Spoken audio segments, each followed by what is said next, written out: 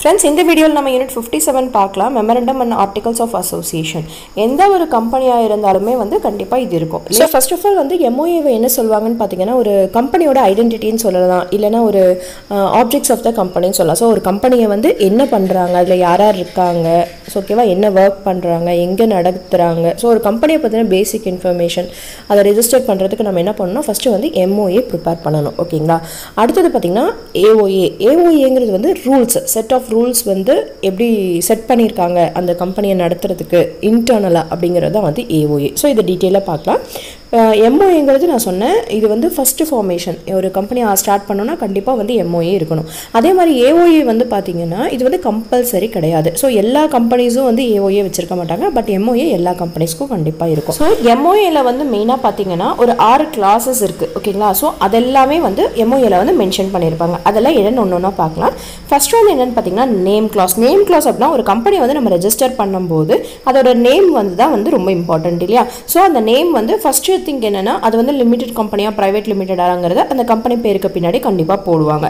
அதே மாதிரி அந்த நேம் வந்து அன்டிசைரபிள் ஐடென்டிக்கல் அந்த மாதிரி இருக்கக்கூடாது. அல்லது too nearly resembles for example undesirable அப்படின்னா நம்ம சில நேம்ஸ் எல்லாம் வைக்கக்கூடாது அப்படின்னு இருக்குது ஃபார் எக்ஸாம்பிள் இப்போ வந்து ஒரு காந்திஜி இருக்காங்க. ஸோ காந்தி லிமிடெட் அந்த மாதிரி வைக்கக்கூடாது. அதே மாதிரி ஒரு பப்ளிக் இது இருக்கு இல்லையா? லைக் ரயில்வே ஸ்டேஷன் இருக்குது இல்லைனா ஒரு ப்ரொஃபஷனல் கொரியர்ஸ் இருக்கு இல்லையா? ஸோ ரயில்வே கொரியர்ஸ்னு வச்சா அது வந்து ரயில்வே அவ ரிசம்பிள் பண்ணுற மாதிரி ஆகிடும் ஸோ அந்த மாதிரி வைக்கக்கூடாது. அதே மாதிரி too nearly resembles another company அப்படின்னா இப்போ வந்து for example ESS AR SR நமக்கு தெரியும் இல்லையா? இப்போ எஸ்ஆர் கம்பெனி இருக்கும்போது நம்ம எஸ்ஆர் அப்படின்னு சொல்லி நம்ம ஒரு பேர் வந்து கொடுக்க முடியாது. ஏன்னா வந்து ரெண்டும் மோர் ஆர்லெஸ் ரிசம்பிள் பண்ணுற மாதிரி ஆயிடும். ஸோ மற்றவங்களுக்கு வந்து அதை எப்படி ஐடென்டிஃபை பண்ணுறதுங்கிற ஒரு ப்ராப்ளம் வரும். இல்லையா? ஸோ இந்த மாதிரி இதுதான் வந்து நேம் கிளாஸ் ஸோ எப்படி நம்ம நேம் கொடுக்கணும் அப்படிங்கிறதுல வந்து ரொம்ப முக்கியமாக பார்க்கணும். ஓகேங்களா எப்போவுமே ஒரு கம்பெனியோட நேம் அண்ட் அட்ரஸ் வந்து இங்கிலீஷ் அண்ட் லோக்கல் லாங்குவேஜஸில் வந்து நம்ம வெளியில் வந்து ஃபிக்ஸ் பண்ணிப்பாங்க. அதே மாதிரி ஏதாவது மிஸ்டேக் ஆகிடுச்சுன்னு வச்சுக்கோங்களேன்.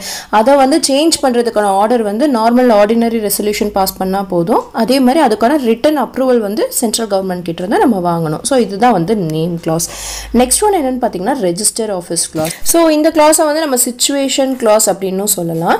ஜென்ரலாக வந்து எந்த இப்போ ரெஜிஸ்டர் ஆஃபீஸ் இருக்கு இல்லையா? அவங்களோட ரெஜிஸ்டர் ஆஃபீஸ் கம்பெனியோடது அது வந்து எந்த இடத்துல சுச்சுவேட் ஆகிருக்கு எந்த ஸ்டேட்டில் சுச்சுவேட் ஆயிருக்கு அப்படிங்கிறத வந்து அதில் மென்ஷன் பண்ணியிருப்பாங்க ஸ்டேட் மட்டும் தான் மென்ஷன் பண்ணியிருப்பாங்க சப்போஸ் அவங்களுக்கு ஃபுல் எக்ஸாக்ட் அட்ரஸ் வந்து மென்ஷன் பண்ணணும்னா அவங்க வந்து ஆர்ஓசியில் வந்து அவங்க மென்ஷன் பண்ணிக்கலாம். ஓகேங்களா வித்தின் தேர்ட்டி டேஸ் ஆஃப் இன்கார்பரேஷனில் நெக்ஸ்ட் ஒன் பார்த்தீங்கன்னா அப்ஜெக்டிவ் கிளாஸ் அப்ஜெக்டிவ் கிளாஸ் அப்படின்னா என்னன்னா என்ன டைப் ஆஃப் ஒர்க் பண்ண போகிறாங்க ஓகேங்களா அந்த கம்பெனி வந்து எதுக்காக எஸ்டாப்ளிஷ் பண்ணியிருக்காங்க அவங்களோட நேச்சர் ஆஃப் பிஸ்னஸ் என்ன அப்படிங்கிறத வந்து தெளிவாக அதில் மென்ஷன் பண்ணணும். ஓகேங்களா ஸோ அதை சூஸ் பண்ணும்போது அவங்க வந்து ரொம்ப கேர்ஃபுல்லாக சூஸ் பண்ணணும்னு சொல்கிறாங்க ஸோ இதுதான் வந்து ஒரு அப்ஜெக்டிவ் கிளாஸ் அப்படிங்கிறது இது வந்து ரொம்ப எசென்ஷியல் ஏன்னா என்ன பண்ண போகிறாங்கிறது தானே நமக்கு ரொம்ப முக்கியமே. ஸோ அதுதான் வந்து கிரேட் இம்பார்ட்டன்ஸாக இதில் வந்து இருக்குது அப்ஜெக்டிவ் கிளாஸில் வந்து any type of lawful objectives வந்து அதுக்கு இருக்கலாம். ஸோ ஃபார் எக்ஸாம்பிள் இப்போ வந்து இது ஏதாவது இல்லீகலாக பண்ணுறாங்க அப்படின்னா அது வந்து அவங்களோட அப்ஜெக்டிவாக அவங்க வைக்க முடியாதுல்ல. ஸோ லாவில் எது வருதோ அது எது அப்ளிகபிளாக இருக்குது கரெக்டான இது எது எது பண்ணுறாங்களோ ஸோ அதெல்லாம் வந்து இவங்களோட அப்ஜெக்டிவாக வச்சுக்கலாம்.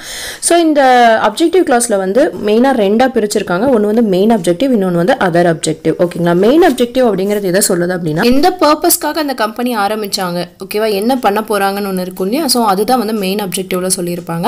அதர் அப்ஜெக்டிவ் வந்து அதில் என்னென்ன மென்ஷன் பண்ணாமல் வேறு ஏதாவது அவங்க பண்ணுவாங்க இல்லையா? ஸோ அது எல்லாத்தையும் அதர் அப்ஜெக்டிவ்ல வந்து மென்ஷன் பண்ணியிருப்பாங்க ஓகேங்களா நெக்ஸ்ட் என்னென்னு பார்த்தீங்கன்னா லயபிலிட்டி கிளாஸ் ஸோ ஒரு கம்பெனி வந்து லிமிடெட் பை ஷேர்ஸா இல்லை லிமிடெட் பை கேரண்டியாங்கிறத பொறுத்து தான் வந்து அதோட லயபிலிட்டி இருக்கும். எவ்வளோ லயபிளாக இருக்காங்க அப்படிங்கிறது. சப்போஸ் லிமிடெட் பை ஷேர்ஸாக இருந்ததுன்னா அதோட மெம்பர்ஸ் வந்து அதோட அன்பெய்ட் பேலன்ஸ் இருக்கும் இல்லையா ஷேர்ஸில் ஸோ அந்த அந்த அளவுக்கு தான் அவங்களோட லயபிலிட்டி இருக்கும். அதுவே வந்து கேரண்டியாக இருந்ததுன்னா மொத்த கேரண்டி அமௌண்ட் எவ்வளவோ அந்த அளவுக்கு வந்து மேக்ஸிமம் அவங்க லயபிளாக இருப்பாங்க. சப்போஸ் ரெண்டுமே லிமிடெட் பை ஷேர் அண்ட் கேரண்டியாக இருந்தது அப்படின்னா அந்த மெம்பர்ஸ் வந்து டியூவலாக வந்து லயபிளாக இருப்பாங்க. ஓகேங்களா ஸோ எவ்வளோ அளவுக்கு லயபிளாக இருக்காங்க அப்படிங்கிறத டிஸ்கிரைப் பண்ணுறது தான் என்னென்னு பார்த்தீங்கன்னா லயபிலிட்டி கிளாஸ் அப்படிங்கிறது. ஓகேங்களா நெக்ஸ்ட் ஒன் என்னென்னு பார்த்தீங்கன்னா கேபிட்டல் கிளாஸ் ஸோ ஒரு கம்பெனி வந்து எவ்வளோ ஆத்தரைஸ்டு கேபிட்டல் வச்சுருக்காங்க? ஆத்தரைஸ்ட் கேபிட்டல்னால் மேக்ஸிமம் எவ்வளோ ஷேர்ஸ் வந்து மேக்ஸிமம் எவ்வளோ கேபிட்டல் அவங்க வச்சுக்கலாம் அப்படிங்கிறது தான் வந்து ஆத்தரைஸ்டு கேபிட்டல் ஸோ அது எவ்வளோ வச்சுருக்கலாம் அப்படிங்கிறது இருக்கு இல்லையா? ஸோ அதை மென்ஷன் பண்ணுறது தான் வந்து கேபிட்டல் கிளாஸில் வந்து மென்ஷன் பண்ணியிருப்பாங்க.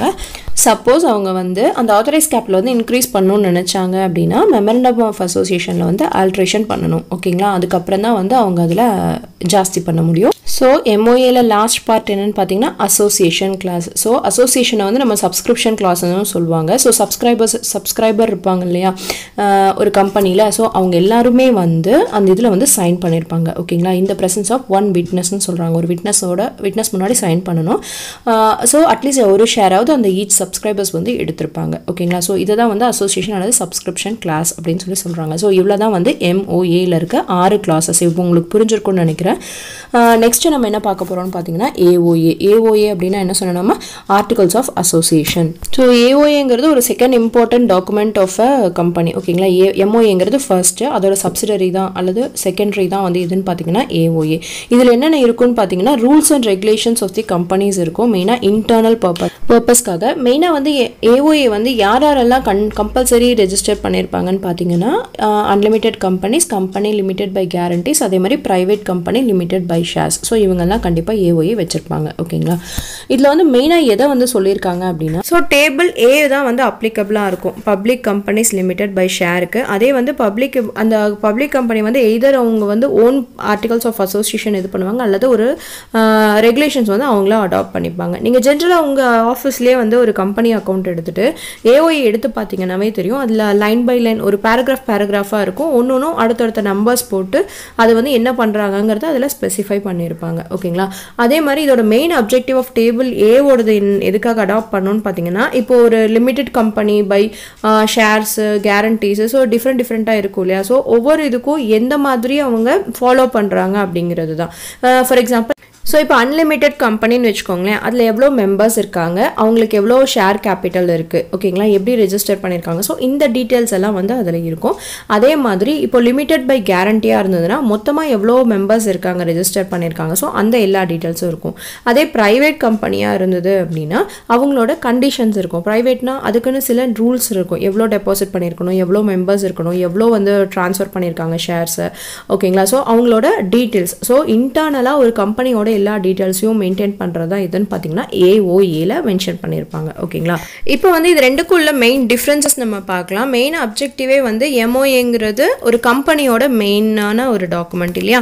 ஸோ ஒரு கம்பெனியை பற்றின ஃபுல் டீட்டெயில்ஸை சொல்கிறது தான் வந்து எம்ஓஏ ஏஓஏங்கிறது வந்து அவங்களோட ரூல்ஸ் அண்ட் ரெகுலேஷன்ஸை பற்றி சொல்கிறது நெக்ஸ்ட் வந்து main document of the company வந்து எம்ஓஏ சப்சிடரி டாக்குமெண்ட் எதுன்னு பார்த்தீங்கன்னா ஏஓஏ ஏஓஏங்கிறது சப்சிடரி ஆஃப் எம்ஓஏ ஓகேங்களா?